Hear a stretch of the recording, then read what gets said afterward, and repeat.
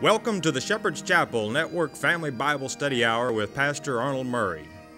Wisdom is understanding God's Word. Pastor Murray's unique teaching approach brings God's Word alive with meaning as he takes you on a chapter by chapter, verse by verse study of God's letter to you, the Bible.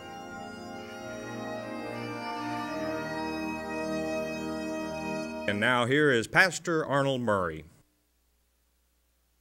Good day to you. God bless you. Say, welcome to the Shepherd's Chapel. Welcome to this family Bible study hour. We're ready to get back into our Father's Word. How to study prophecy. Again, just real briefly, uh, in a recap, our Father makes it very simple, and He wants it kept that way. As a matter of fact, when Christ would say concerning His return, when you see that that happened to Noah, where they're giving and taking in marriage, that's exactly how it's going to be when I return. This type of prophecy is using history itself to let you know it's going to happen again. And as it is written in the great book of Ecclesiastes, chapter 1, there's nothing new under the sun. That that has been shall be again. That that goes around shall come around.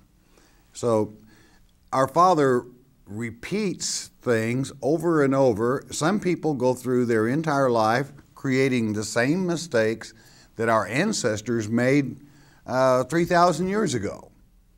It seems they can never learn. It's better to learn mistakes from our Father's Word because this is a process of God proving His children. How quick do you learn from others' mistakes? Or would you prefer to make them all on your own? That's up to you. But basically, that's what prophecy is about, is taking history and simplifying it to the point that all you have to do is look, that same thing is going to happen again. That's one of the types of prophecy. Now, we had prophesied, or through Isaiah, God prophesied that uh, when Israel, the house of Israel, came against the house of Judah in confederacy with the, the nation Syria, they were going to overcome, and God told them, Don't worry about it. I'm going to give you a sign. And He told of the child that would be born, and that child would be Emmanuel, God with us, as a sign. And now, uh, as we go into today's portion of this, you're going to find that there was also a near history, historical fact there that Isaiah himself would have a, a son. Let's get with it. And the king of Assyria is being worked into this, and he is a type. Isaiah 14 declares that the Assyrian is the type of Lucifer or false Messiah that will come in the end, end days. That's where you come in, and that's where you want to be very careful. Okay, a word of wisdom from our Father. We ask it in Yeshua's name. Chapter 7, verse 23. Let's pick it up there again and go with it. And it shall come to pass in that day, that's the day that the Assyrian comes, that every place shall be where there were a thousand vines and a thousand silverlings, it shall even be for briars and thorns. In other words, the rent or the lease of one vine was uh, one shekel or one silverling, if you choose. And um, he said, when, when there used to be a very productive, producing uh, vineyard, all you're going to have is briars and thorns. 24. With arrows and with bows shall men come thither, because all the land shall become briars and thorns. In other words, it'll be a hunting patch for rabbits, probably, okay? Be that as it may. That's yet future? Well, in a sense, it is. Because something that was once fruitful and stops bearing fruit, when you remove God's word from an area, certainly that's what it turns into. No fruit. 25.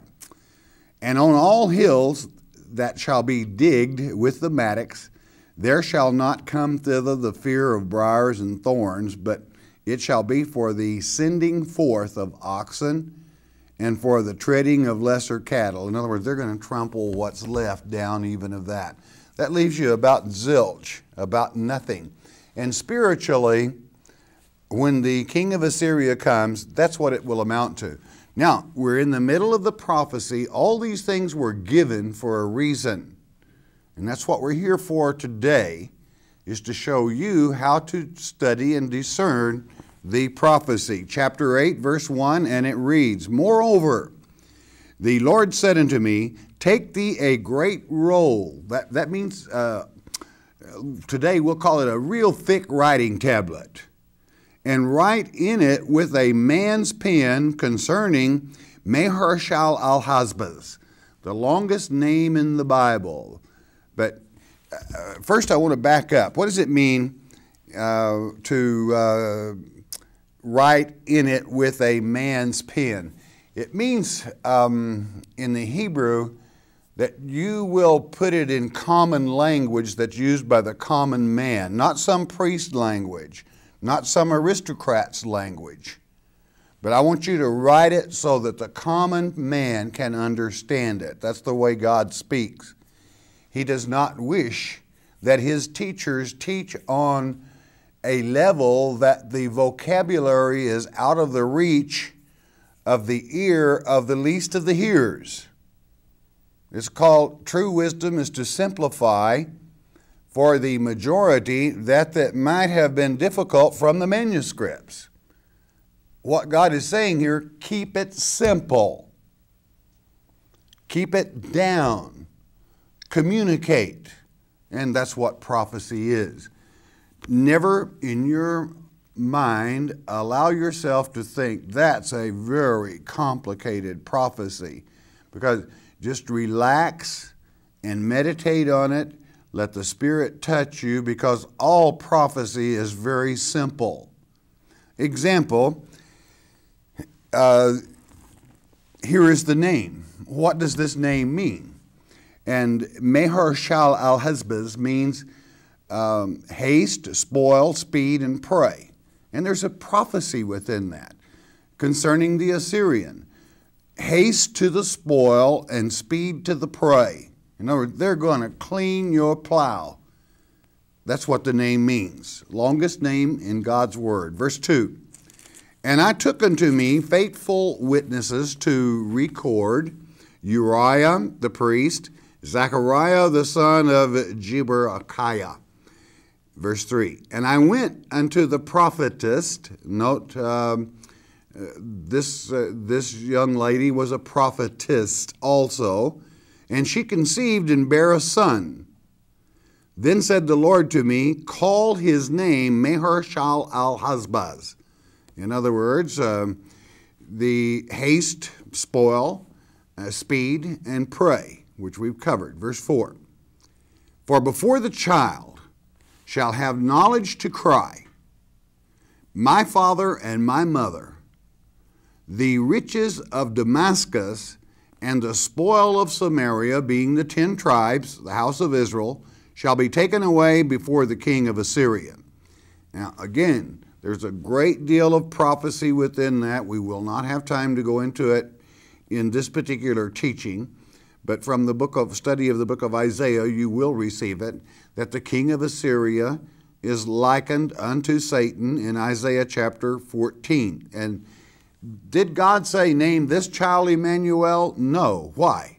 Well, Emmanuel means God with us.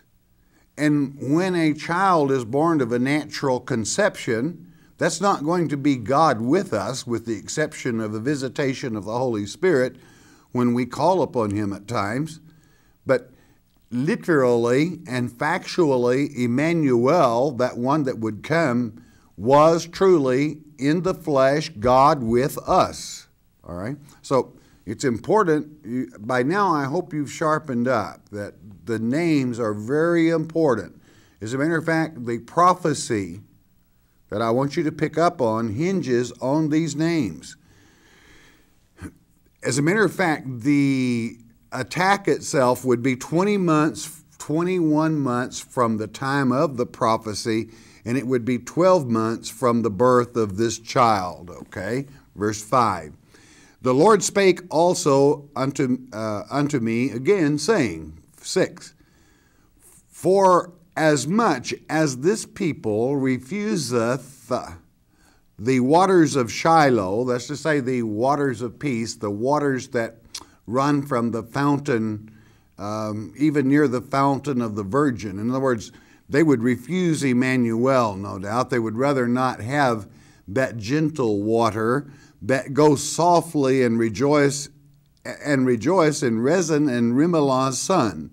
In other words, uh, they wouldn't accept the real prince. That is to say, the house of Israel and Syria. 7. Now therefore, behold, the Lord bringeth up upon them the waters of the river strong and many, even the king of Assyria and all his glory. And he shall come up over all his channels and go over all his banks. He's going to flood them literally. And of course, the ultimate in this prophecy you will read in Revelation chapter 12, where this same type, king of Assyria, king of Babylon, Satan, tries to destroy the woman of which the house of Israel and the house of Judah consist of, symbolizing Mother Israel um, of the peoples, as well as those that are uh, spiritual Israel, those that believe upon Emmanuel. Satan will be attempting to flood them, to rise up and flood, and he'll do a real good job of it. Only the election, those that know the difference between the true Christ and the false Christ, will escape. Verse 8 And he shall pass through Judah, he shall overflow and go over he shall reach even to the neck.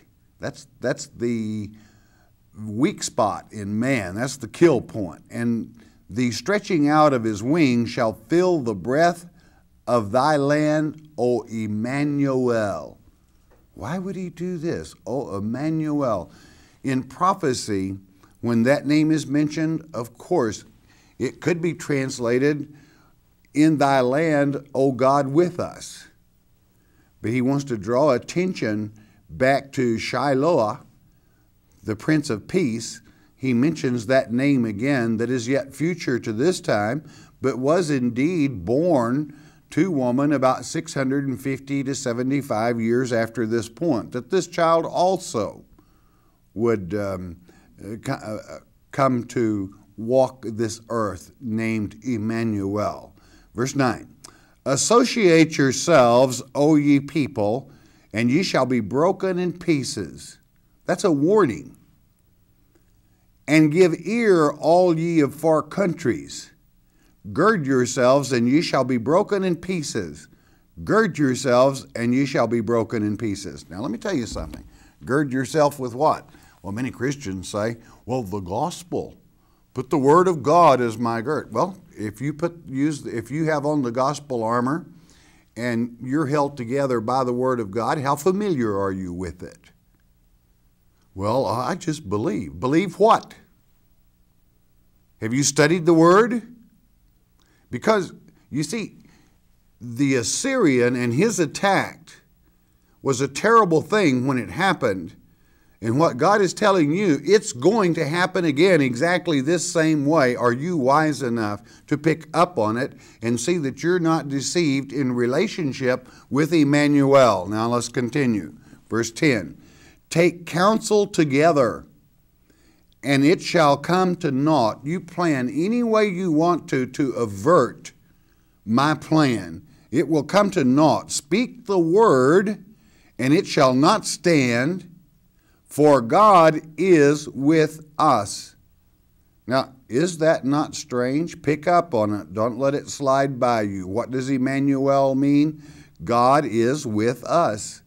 Why wasn't it translated Emmanuel as it was back in verse 8? Because the prophecy is that those that stay in the path, God is with them. Well, what difference does that make? It means that they, that is the only escape from the onrushing of the Assyrian or spurious Messiah. Verse 11 For the Lord spake thus to me with a strong hand and instructed me. This is not just a weak little uh, spur of the moment instruction, yakar. It is strong, a warning that I should not walk in the way of this people, saying, verse 12, Say ye not a confederacy. Do you know what an overall confederacy is? You should. It's one worldism, the New World Order. And to all them to whom this people shall say a confederacy, neither fear ye their uh, fear, nor be afraid. In other words, it's written, it's going to come to pass, it is part of God's plan. You don't have to worry about it. That does not mean that every Christian should not vote to, to what they know is right, absolutely right.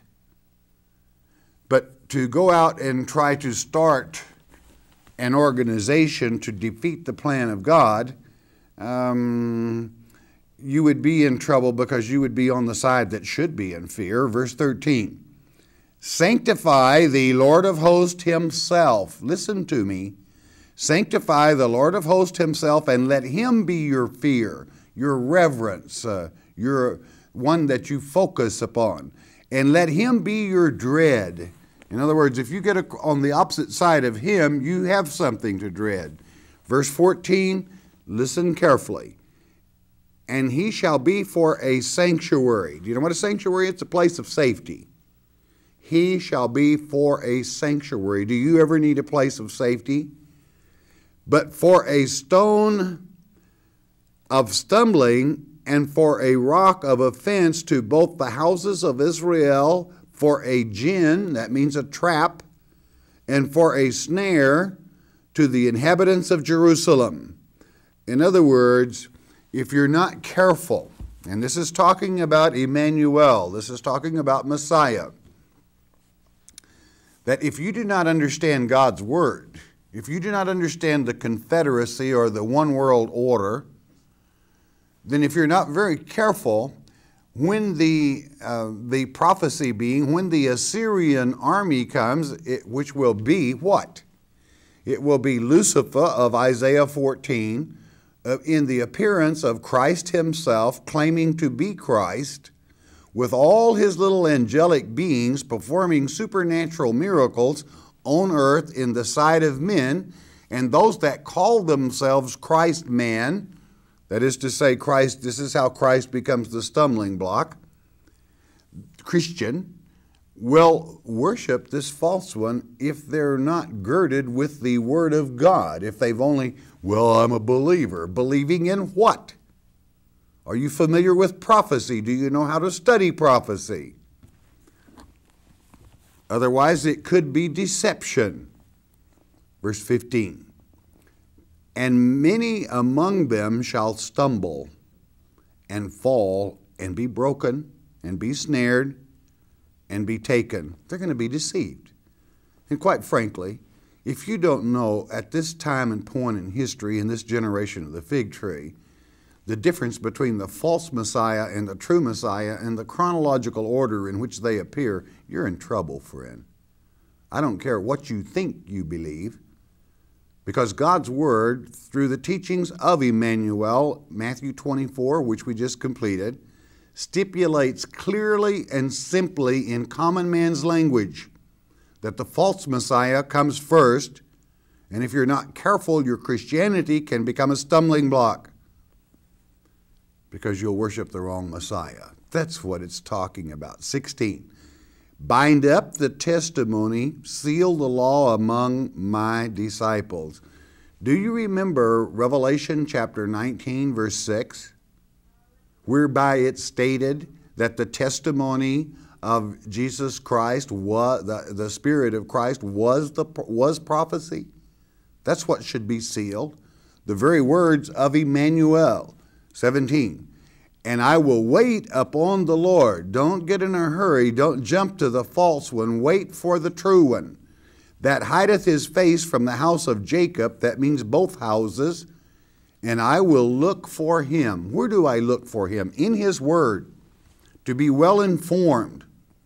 Because God does not pull surprises on anyone. Now, really sharpen up for me. Verse 18 Behold, I and the children whom the Lord hath given me are for signs and for wonders in Israel, from the Lord of hosts, which dwelleth in Mount Zion. That's the prophecy. Did you get it? What children? Well, the children he gave and gave the specific names for. That's the sign. And it had better be with you always. Who was the first child? Well, the first child happens to be uh, Shear. And that was back in chapter 7, verse 3. What does it mean? The remnant shall return. You can count on it. That's a sign. As a matter of fact, the remnant in part returned, inasmuch as the Assyrian went over Judah also, and the house of Judah returned, and that began the sign in the year of our Lord, 1948. What was the next name? Emmanuel, God with us, that a virgin would conceive, and a child would be born, and he would be the true Messiah. And then, what about the other child? Maher-shalal al-Hash-Baz. That you can count on it. The confederacy shall come into being in a one world system. In the Assyrian, which is the type of Antichrist, shall come first, and he will make great haste. The, the, uh, translation of the name. He will make great haste to the spoil. What does that mean?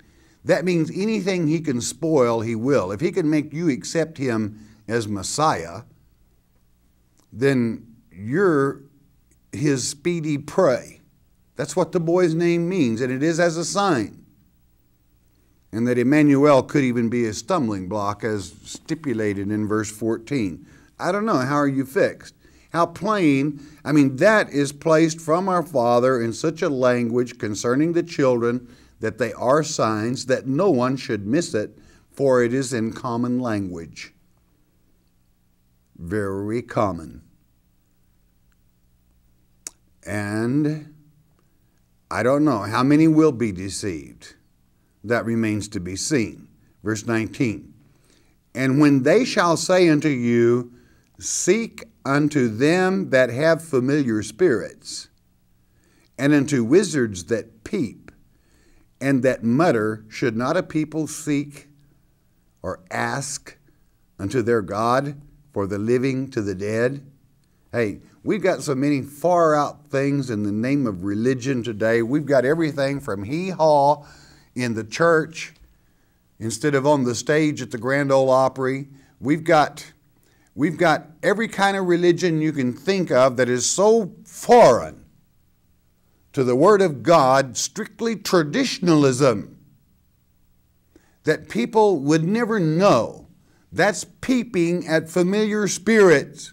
And there are plenty of them around. Invite them into your house, they'll come gladly. They'll even play religion with you. They'll even play church with you. If it is not written in God's Word, then it is not God's Word. So seek God through His Word, chapter by chapter and verse by verse, and stop playing religion. Verse 20 To the law and to the testimony, if they speak not according to this Word, it is because there is no light in them. Hee haw, hoo hoo, and all kinds of other religions. Have you found it? No. God is not the author of confusion, but of truth. If it isn't in this word, it's not the word of God. Learn how to study the word and prophecy. 21. And they shall pass through it hardly bestead. That means a hard case lot and hungry. And it shall come to pass that when they shall be hungry, they shall fret themselves and curse their king and their God and look upward. Why does God let these things happen? Uh, you know, you hear it all the time. Why does God let the little children go hungry? Don't blame God, blame their dumb parents. A parent, when he takes on the responsibility of bringing a child into the world, takes on the responsibility to feed the child. So don't blame God for their ignorance. The responsibility of motherhood and fatherhood is treated as a game in this generation. And people say, Why does God let this happen? God doesn't, we do. those that are supposed to have the responsibility. God gives every warning on parenthood and so and, and otherwise in His Word. It is written. The big question is, have you read it? Verse 22. And they shall look up, up to, unto the earth, and behold trouble and darkness, dimness of anguish, and they shall be driven to darkness. You see,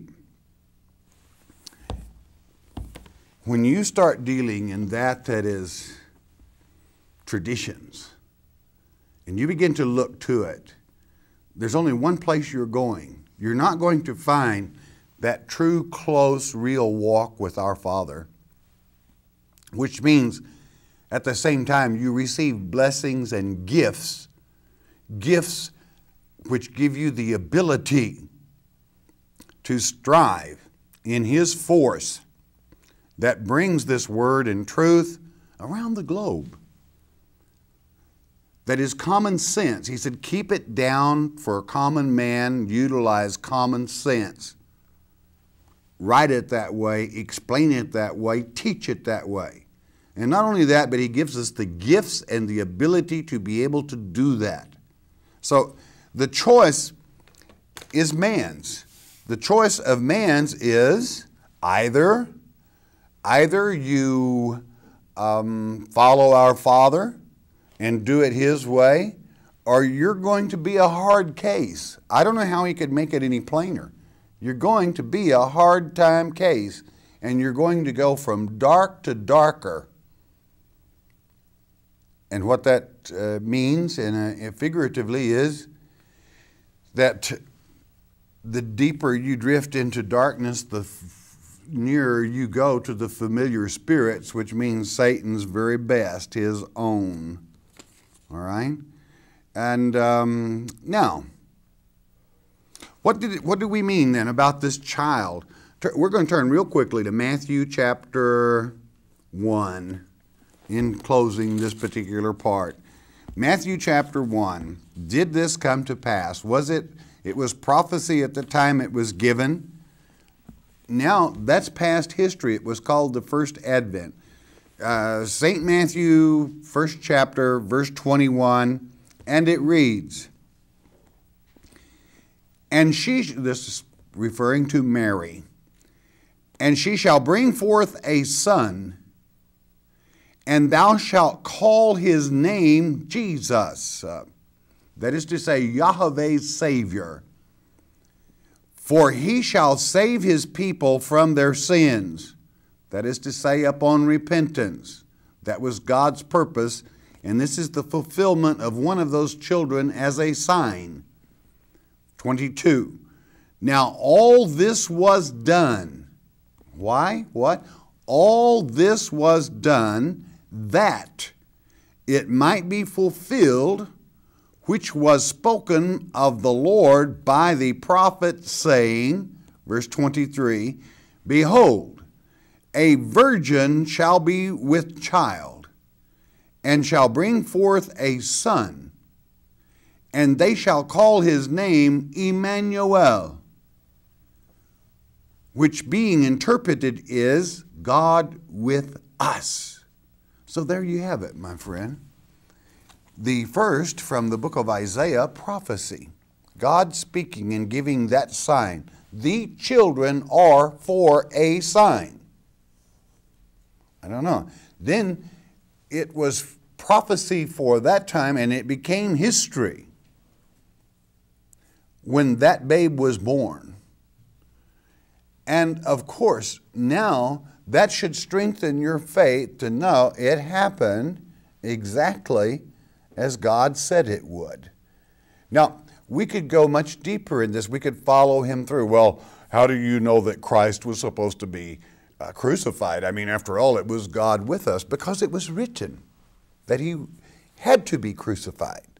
You read it as he quoted from the very cross itself Eli, Eli, Lama Sabachthani, which is to say, My God, my God, why hast thou forsaken me?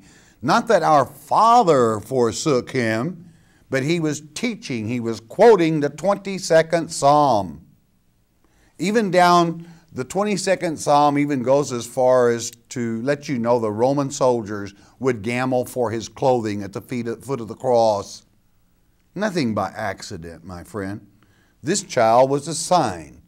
Did you get all there was to glean from it? If not, be very careful, my friend. And I speak of the word overall concerning that son because it can be a stumbling block, a very severe one. We'll complete how to study prophecy in the next lecture. Don't miss it. All right, bless your heart. You listen a moment, won't you please? Free introductory package. Say, this is something we would like to offer for a one time gift to all the new folk that study with us. This introductory package gives you a monthly newsletter, which means each month you will receive a newsletter with a Bible study on it. Hey, raising funds? No way. We're not beggars. We're Bible teachers. That's what it consists of. A tape catalog that will give you all the topics that are covered and the mark of the beast tape. What is this mark of the beast? Is it really on your forehead? No, Satan's considerably more intelligent than that. It's in your forehead, which is to say, in your mind. Have you been deceived? This is a free offer to you, one time to each new student. Say, find out what's really happening and what the story is on the mark of the beast.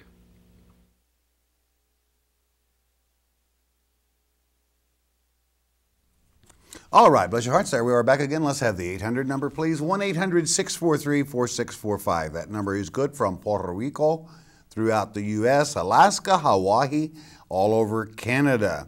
And if the Spirit moves and you have a question, share it. Please understand, we're in over a considerably 100 million homes around the world, and there's no way that we can answer all questions, but if uh, when we take that handful, if yours is there, then that's the way we learn. And please remember at the same time, we go on new stations every week. We have brand new students. So if it would seem that some of the questions are repetitive, then that's what you're in the business of, my friend, is teaching the tender ears. And when you become an old salt in, in the study, then you have to be patient with the little ones, those that are just coming in. So don't ever be caught in the situation where you're a know it all. Well, I knew that. Why would he answer that question? You didn't when you began. And we have, that's what we're in the business of, is working in our Father's field to draw in those that seek the truth. So be patient. Just put it in low gear and know that we have to plow slowly but deep. All right? Now, those of you that listen by shortwave, your announcer at the end of the hour will give you our mailing address. It's always a pleasure to hear from you. You got a prayer request? He's your father, and he loves you very much. He really does, especially when you let him know you love him in return. That's why he blesses those that love him, that follow him. He owns everything. And he it makes his day to be able to bless his children. Talk to him. Father, around the globe we come, we ask that you lead, guide, direct, touch, prosper, heal in Yeshua's precious name. Amen. Okay, let's see what kind of questions we got. Oh, I, I remember. Didn't have time for this one as we closed the last. Larry from Florida. Do your views on capital punishment relate to Christ's new commandment to love our enemies? Absolutely. Absolutely. You see, God loves them too. That's why He makes it very clear that if a man premeditate taking the life of another, that he wants him sent immediately back to the Father so he can love him, or try to put him back into position where he can, what does that entail? Execution. Well, I didn't know execution could be an act of love. Well, it certainly is. Well, how can that be? Well, um, if, if, for example, some idiot were going to break into a home and take a 12 year old girl out and kill her, then it would be an act of love to the girl if someone had executed him before the fact, because he was guilty enough before the fact to suffer the death penalty. It would have never happened. That's love, is to love our children enough to protect them from, from evil, wicked, cruel people that try to force themselves on other people. The way you do is you knock them off of you. That's love. You love your children, you correct them. You love your enemies, you correct them. It may take a 2 before or it may take a 357. But you love them enough that you correct them and try to make a man out of them. All right? Otherwise, hey, love them enough to send them to the Father. Jesus himself would say in Matthew chapter 5, You have heard, you know, concerning the law. He said, I didn't I didn't change the law, not one jot. That means the smallest little tittle, the sound of a letter, iota in the Greek. Not one iota of the law. Because it still remains. You have heard it said, Thou shalt not kill. The word kill in English kind of, you know, you could kill a fly. But this word is phonios in the Greek. This is the prime. It means criminal homicide. What Christ said was, Ye have heard that you shall not commit a criminal homicide because you're in danger of judgment. Why? You could be executed. That law has not changed. And that's loving our people. And yes, it's even loving the poor, miserable soul of the murderer. Because he needs to be sent to the Father so the Father can straighten him out in the presence of the one he murdered, and he might even find salvation through it. Or he might burn in hell. That's to say, the lake of fire. I don't know. That's up to our Father. Yep, that's real love, is to love your people enough to protect them from evil people. Okay, Melody from, doesn't know, say where Melanie is from. Please explain 1 Thessalonians 4, verses 16 through 18. My sister thinks this is talking about the rapture. Well, the poor soul, I know a lot of people think that, dear. But have her back up to the 13th verse because that's where the subject and the object that's being discussed is put into play. And it's talking about where the dead are. And what it's saying is, if you, as a Christian, believe that Christ rose from the dead and went to the Father, then surely you believe that those that are in Christ are with Him also, not out here in a hole in the ground, but are with Him. He said, Don't, I don't want you to be ignorant like the heathen are. And then he goes into these verses at the last trump, the seventh trump. You see, the Antichrist appears in the sixth trump. And that's where he's going to get the people that think this is rapture. Because they think that, um, that the seventh trump is going to happen some way or another before the sixth because they've listened to scholars. I don't know what kind of scholars you would call them, but six always comes before seven. Now, to meet them in the air. The word air, as it is in the manuscripts, the Greek manuscripts, is air, which is to say breath of life, meaning the spiritual body, to be changed instantly. Have, have dear little sister read Second Thessalonians chapter 2. Okay, Mabel from Kentucky, Revelation 6 2. Is this the Antichrist riding his the white horse? Absolutely, it is. And this is what's going to deceive many people. It simply means that he looks like Christ, he claims to be Christ, he even has a bow, which is a copy supposedly of the bow having been mentioned in the fourth chapter around the throne of God. But this is a cheap fabric imitation, toxon in the Greek. Uh, Antoinette, thank you for your teaching, and I enjoy the flowers every day. Well, we, we have a wonderful flower lady, and and it's just holly all the way as far as I'm concerned. Uh, uh, and um, flowers that uh, pick up the spirits of everyone, and I just love her to pieces. Uh, but she's a little flower lady. Okay, Linda from Florida. what are your thoughts about a Christian going through the legal system to collect a debt? Well, what is common sense? Common sense, and first the Word of God says, if someone owes you a debt, hey, you go to them and you say, hey, you owe me bucks and I need that and I loaned it to you in good faith, so forth, so forth. And if he says, out, or the check's in the mail, you know, well, if it's not, then you take an arbitrator with you, a witness, and have him try to arbitrate it. If that can't be worked out, then he's not a Christian. Sue the heck out of him. Okay? That's real simple. Just sue him. Right is right, and that's the law of the land, and it's the biblical law as well. Well, where is that written? Common sense. Um, Margaret from Tennessee. Uh, we might say, well, where it says that you should never take your brother into court. Well, he's not your brother. He's not even a Christian, or he'd pay his bills. All right. Mark, I mean, face reality and use a little common sense.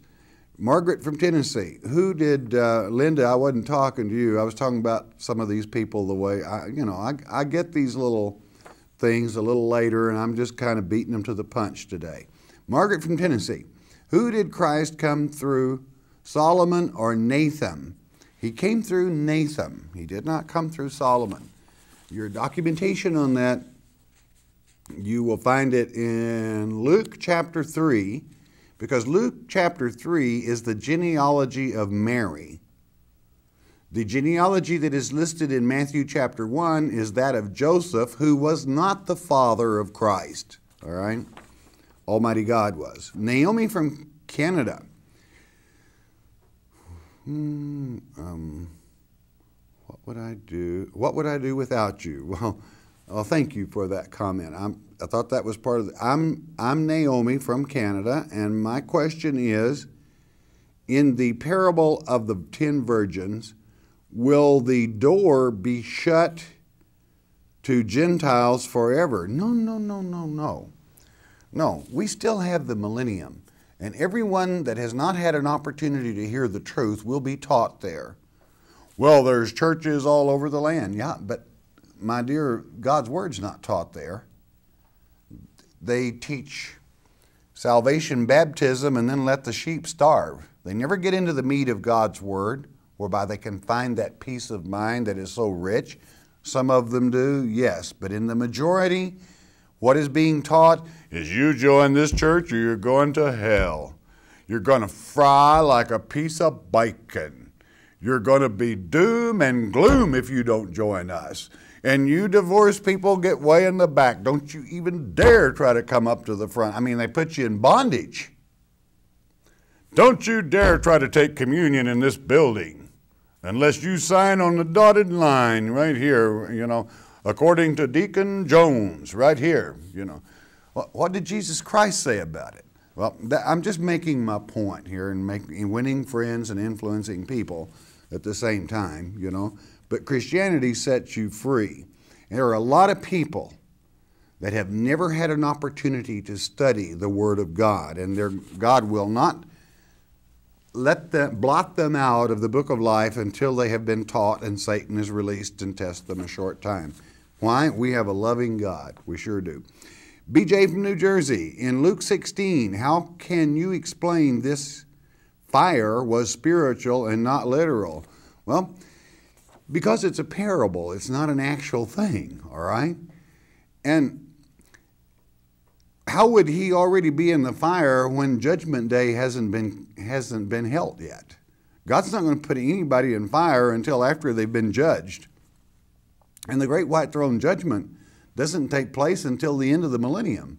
I mean, Christ was teaching, and he was teaching through using a parable about two actual men that lived. And the fire is embarrassment, shame, and degradation that he could not approach Almighty God. Uh, Marcia from Florida. I'm a Christian and my husband choose, chooses not to follow God. What should I do about this? Well, um, read 1 Corinthians chapter 7. I cannot advise you without knowing all facts. So a wise man would never do that, all right? But read 1 Corinthians chapter 7. Who knows, uh, he, you might set an example that would bring him to the Father. You know, you, you're the one that has to judge. That You see, there would be so many things. Is she abused? Does he beat her? Uh, there would be so many things that would change the advice that would be given by God's law, okay? And you can't give that law without all the facts. So read 1 Corinthians chapter 7 and it'll pretty well lay it out for you. Okay? Lillian from California. What is your views on a church that has open communion that anyone can take and whether they are a member of the church of that church. Well, hey, that, that's a church after my own heart. It isn't a man is never worthy. That isn't the question. The question is, do you believe Christ was worthy, meaning innocent, to pay for our sins? It's like someone waiting to be baptized when they're perfect. They, no one would ever be baptized. You repent, you're perfect for that moment, and it helps you when you call upon Him to help you in your weaknesses. All right? That's I think it's wonderful. No man and no church has the authority to tell an individual whether or whether or not they can take Holy Communion, the sacrament that was paid for by the blood of Christ on the cross for all his people. It is a dangerous thing for a man to set himself in a position and forbid anyone from taking that. I would hate to stand before God and say, Well, that old boy, God, you know him, you know, I know he's going to hell, and I wouldn't let him take your communion because I knew you didn't pay it for a sinner. Us good deacons know that. You know?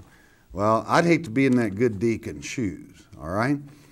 All right, just winning, friends and influencing people again. I'm just making all kinds of points today, but beloved, it's true. No one.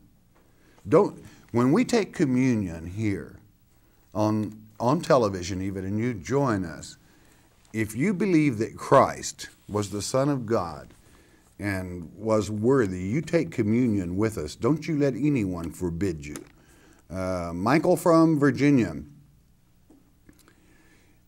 I would like for you to explain this verse to me. Genesis chapter 25, verse 23. And the Lord said unto the two nations, are two nations are in thy womb, and two manner of people shall be separated from thy bowels, and the one people shall be be stronger than the other people, and the elder shall serve the younger. It was Jacob and Esau. And he was talking to Sarah, and that's the way it was. Uh, there are two nations, the two superpowers of this end time. Only one is not so much of a superpower, but it's getting back there. All right? Wait till the elections in June. I'm not talking about our election. I'm not in a position where I can talk about our elections in this nation. I'm talking about Russia. Okay, Roger from North Carolina you said that you state that God's word says that Satan is the only one condemned to death, and then state the 7,000 angels will die also. He's the only one named, all right, by name. And those are almost non entities in as much as they refuse to be born of woman also, and, um, and they cook their own goose, as it is written in um, Jude, the first six verses. So, yep, they're condemned. I would have thought you'd have known that. Okay, Helen from New York. I have searched and asked, still don't know or understand Revelation 2.13, Satan's seat, and Antipas, faithful martyr, slain when, where Satan dwelleth. Well, it's prophecy, my dear, and it's written in those letters to the church. Satan's seat is where? Well, here on earth, you'll find it written in 2 Thessalonians chapter 2, verse 4, where he sits in the seat of God, claiming to be God. So it's Jerusalem. And what is who is Antipas that was faithful to the true Father? What does Antipas mean when you say it? Antipata. which is to say, anti father. It's those that are anti against that first father. Now, Elijah told you, or God told you, that Elijah would return and turn the children's hearts to the fathers, plural.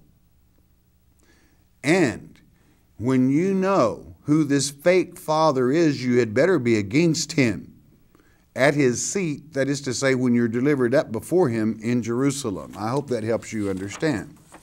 Um, it could even be referring to one of the two witnesses, inasmuch as much as he's called a martyr, for two will die in that pata, arena, street, if you prefer. Chris from California, please explain where this is located in the Bible and what it means. Take up your cross and follow me. Thank you. Uh, you'll find it in Luke chapter 14 for one place. And what does it mean? What did you pick a cross up for? To be crucified on. In other words, be willing to die for me if you want to follow me. Okay? Who knows? You may be one of the two witnesses, and you would have to die for him and the rest of us, all right? Uh, when you were delivered up. So it means to be very serious in following him.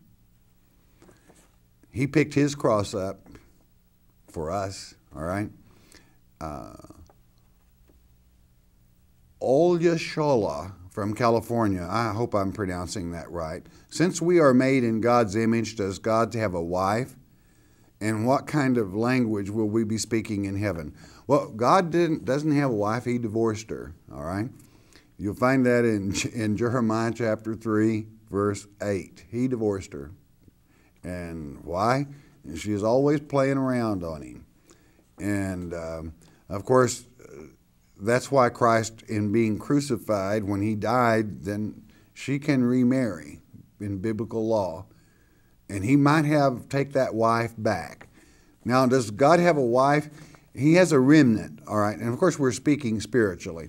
The language that will be spoken in heaven will be that spoken on Pentecost Day that is the language placed there by God through the Holy Spirit that every ear hears and understands. No such thing as unknown. Uh, Bob from Illinois, do you teach that God's elect stood against Satan in the first earth age, and as a result, are they being rewarded with priesthood and salvation today? Well, more like hard work and and teaching God's word and uh, planting seeds and being ridiculed, if you want to call that, you know, they were. Salvation is justification, and you will find in Romans chapter 8, beginning with about verse 26, that the remnant doesn't even know what to pray for, but God intercedes in their life because they were predestined. That they were justified and not found wanting, which means before the foundation of this earth age, not the first earth age, but this earth age. So, yeah, God's elect stood against Satan in the first uh, rebellion, when Satan rebelled. Therefore, God can intercede in their lives and cause them to do what He wants to, and then they can't cry like little babies on Judgment Day and say, Yes, Father, but I would have been okay if you hadn't have interfered in my life. So God will not interfere in someone's life that has free will. That is to say, did not overcome there and are in the proving stage at this time. God will not touch their lives unless they ask Him for His help. Then He will. Uh, Pat from Wisconsin, a TV minister and his wife read 2 Thessalonians chapter 2 verse 3, and he said that the word falling away meant departure or rapture. I checked my companion Bible and my concordance, and we all know it means apostasy. But uh, that's that's one of my students. That makes me so proud. But he said it means departure or rapture. Where do they get their information to fool the people? Ignorance dear one. They're, they're, this is traditions of men, and that's what's been taught. They'll even go so far as to say in verse 7, where it says, Only he who now letteth will let until he be taken out of the way, they'll call, they'll call that he the Holy Spirit. when it's total ignorance because the verb is transitive and must transfer the identity back to the person that's being discussed in the subject in the Greek, back to verse 4 and 6. And they just stick stuff in. They're playing Russian roulette with God's Word rather than being scholars themselves. When any student that has the tools to check out the Greek or the Hebrew or the Chaldee can spot their shortcomings, I'm so proud of you. I thank you for that. Um, there is much deception in this world today. And unfortunately, our people just love it, as Paul would say. They swallow it hook, line, and sinker. They love it. They love to be deceived. And I'm quoting from 2 Corinthians chapter 11, where Paul says, Hey, I'm worried about all of you because I want to present you to Christ as a chaste virgin not as Eve, who was seduced, exapatao in the Greek, wholly seduced by the devil. And he said, and it's no marvel. You get some super preacher comes along and you swallow it hook, line, and sinker and you enjoy it. He said, Don't marvel, for Satan himself comes um, transformed in the English. It's, it's disguised in the Greek as an angel of light when he's none other than the devil himself playing Jesus it's all written. We must always catch on to that. I'm so proud of all of you that you study and do show yourselves approved. I'm out of time again. We'll pick this up in the next lecture. I love you all a great deal. Why? Because you enjoy studying our Father's Word. It completes your life, it shows you the way, it tells you how to be happy and how to have peace of mind. We're brought to you by your tithes and offerings. If we've helped you, hey, you help us keep coming to you once you do that. But this is most important that you stay in His Word. Every day in His Word is a good day. Do you know why? Because Yeshua, Jesus Christ, is the living Word. Hearing God's Word with understanding will change your life. You have been viewing the Shepherd's Chapel Network Family Bible Study Hour with Pastor Arnold Murray. If you are interested in obtaining more information concerning Shepherd's Chapel, you may request our free introductory offer. Our introductory offer includes the Mark of the Beast audio tape, a newsletter with a written Bible study, a complete audio tape catalog, and a list of reference materials available through Shepherd's Chapel. You may request our free introductory offer by telephone. Call 1 800 643 4645 24 hours a day to request the offer. You may also request by writing Shepherd's Chapel, Post Office Box 416, Gravette, Arkansas 72736. That's Shepherd's Chapel, Post Office Box 416, Gravette, Arkansas 72736. We invite you to join us and serious Bible students around the world for our next in depth Bible study, Monday through Friday at the same time. Thank you for watching, and God bless you.